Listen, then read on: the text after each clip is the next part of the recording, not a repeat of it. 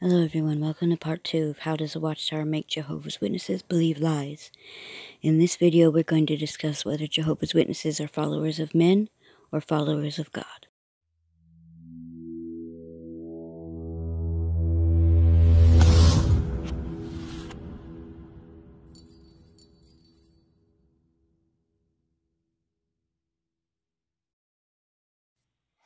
Uh, you think not God's thoughts but those of men. Has that ever happened to us? When is it particularly dangerous to do so? Well, the text for today is based on the events of Matthew chapter 16, verses 21 through 23. And let's read that together. Matthew 16, 21. From that time forward, Jesus began explaining to his disciples that he must go to Jerusalem and suffer many things from the elders and chief priests and scribes, and be killed, and on the third day be raised up. At this, Peter took him aside and began to rebuke him, saying, Be kind to yourself, Lord. You will not have this happen to you at all. But turning his back, he said to Peter, Get behind me, Satan. You are a stumbling block to me, because you think not God's thoughts, but those of men. Now, Jesus here had just expressed real events that were going to take place. This is from that time forward, he began to explain them. From this account and parallel accounts, uh, we see he began to talk about what was going to happen, where they were going to go, what would happen to him, perhaps even what was going to happen to the apostles. But what did Peter say? He, in effect, said, No, no, Jesus, no, no, you're wrong. Uh, you're not thinking right. You're overreacting. Nothing's going to happen. Now, while Peter uh, took the brunt of the counsel, the parallel account in Mark chapter 8 indicates that perhaps the other apostles thought the same way. See, they found it, what Jesus was saying, is hard to believe. Now, what was the problem? These were not wicked men, these were spiritual men. But the problem was that at that moment, they were using human reasoning, thoughts of men, rather than realizing that Jesus was expressing God's thoughts. Now, Jesus immediately corrected their thinking. See, at this crucial time, he needed Peter and the apostles, and not in front of him as a stumbling block, but behind him as willing supporters. At this time, Jesus needed support, not distractors. And the apostles obviously got the message, and there's no indication that Jesus ever had to counsel them like that again. In fact, in Luke chapter 22, verse 28, Jesus even commended them and said, You are the ones who have stuck with me in my trials. See, they learned a very valuable lesson. And what was that? That lesson was trust Jehovah and trust the channel that Jehovah is using. So, did you see how they are saying Jesus was God's channel, therefore they are the Jesus of today? And if they do that, they would be thinking God's thoughts. So, if Jehovah's Witnesses trust the channel and think like them, they will be thinking God's thoughts. And they also learned that it was imperative that they did so, especially as pressures mount as they got closer to the end of Jesus' ministry. Talks like this always worry me. They are always drilling it in the Jehovah's Witness minds that they must trust the channel because in the future something will happen and they must follow their direction. Well, how about us? How do we do? Do we think thoughts of men or do we think God's thoughts? Well, let's talk about that. Are they followers of men or followers of God? The March 15, 1998 Watchtower makes this claim about the dangers of following men. It says a strong leader oriented relationship can lead to an unhealthy emotional and spiritual dependency. But with Jehovah's Witnesses, it's a strong organizational based relationship that leads to an unhealthy emotional and spiritual dependency. As a matter of fact, Jehovah's Witnesses cannot fathom worshiping God aside from his earthly organization. So this makes it hard for Jehovah's Witnesses to leave because they can't think of another acceptable way to worship God. The article goes on to say some may have been told that the witnesses belong to a religious organization that enslaves its members, exercises authoritarian control over them, unduly restricts their freedom, and throws them out of step with society as a whole. Jehovah's Witnesses know that these concerns are unwarranted. Therefore, they invite you to check for yourself. After careful consideration, draw your own conclusions. Are the witnesses servants of God as they claim, or actually slaves of men? But we can answer that question, and the rest of the world can answer that question. The witnesses are actually slaves of men. They are slaves of the governing body. But the Jehovah's Witnesses cannot see this. To them, they are not slaves of men but the governing body's statements prove otherwise. That the rank and file Jehovah's Witnesses are indeed slaves of men. Some examples of this are, for one, the Walsh trials. I've been reading the Walsh trials for a friend of mine to find a quote in there, but while reading it, it is pretty amazing that they say that the officials demand unity of belief at all costs, and every one of Jehovah's Witnesses must accept the false teachings and false prophecies, or else be disfellowshipped. A second example of this is from the April 1st, 1986 question from readers in the Watchtower says, Why have Jehovah's Witnesses disfellowshipped for apostasy some who still profess belief in God, the Bible, and Jesus Christ? This whole article is amazing. It's them defending why they disfellowship people who believe in the Bible. Because according to the Bible, an apostate would be the Antichrist, one who teaches something other than what the Christ did. Yet, strangely, in this article, they keep comparing themselves to the Catholic Church by saying that the Catholics have different views, so why don't we? but that's not at all the question that was asked.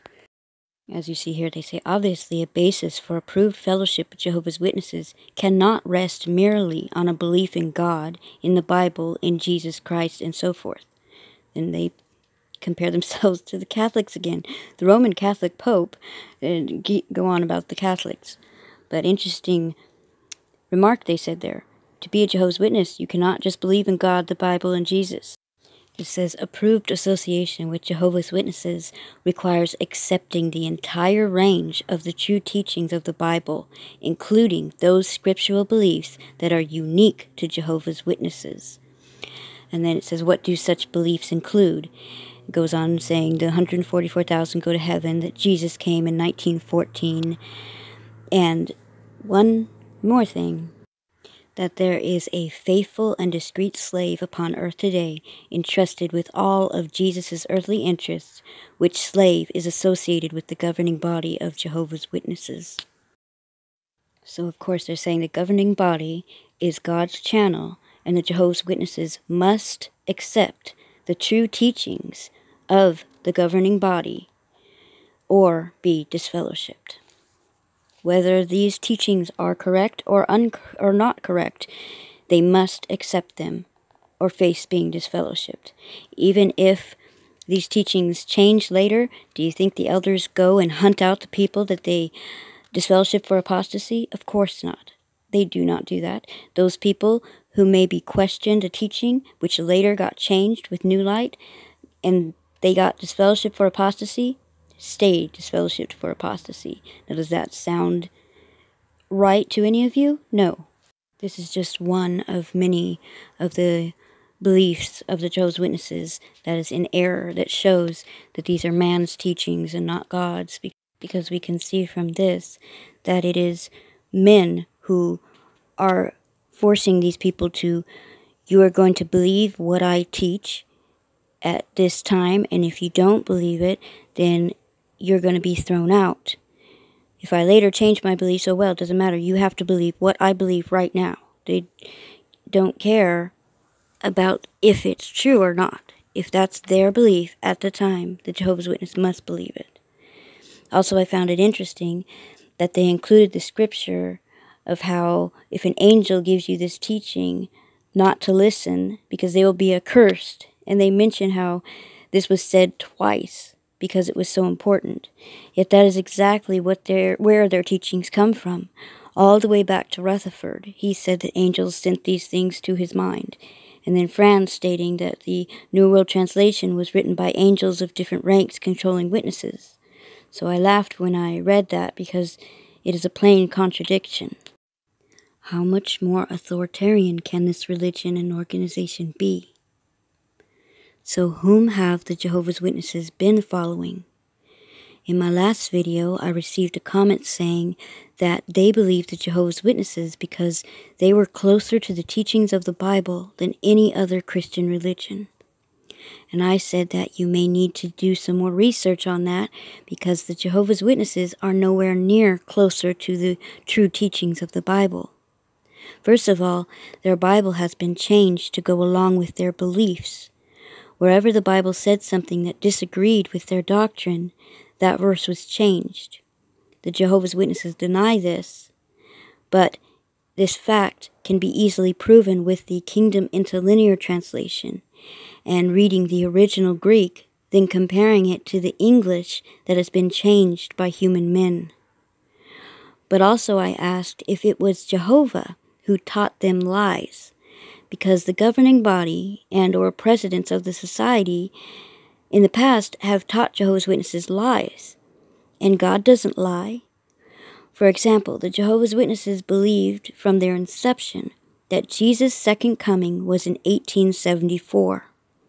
This fact is mentioned in the Proclaimer's book. It says that Nelson Barbour convinced Charles Taze Russell that Jesus' second coming was in 1874.